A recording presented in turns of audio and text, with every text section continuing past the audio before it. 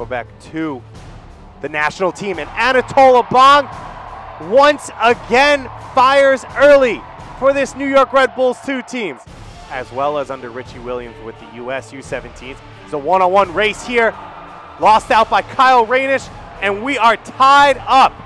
FC Montreal with the response, second goal in a week for the lowest scoring team.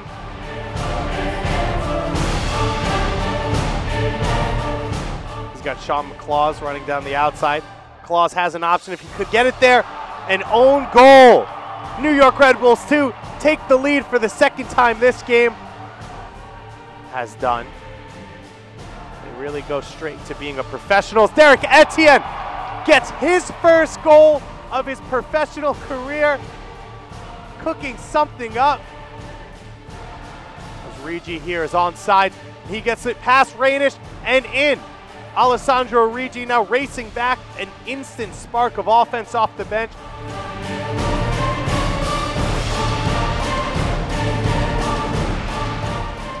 To the feet of Bedoya. Bedoya makes a little bit of space, and then fireworks go. And we are going to be sending a man off here, and it looks like it's going to be the captain,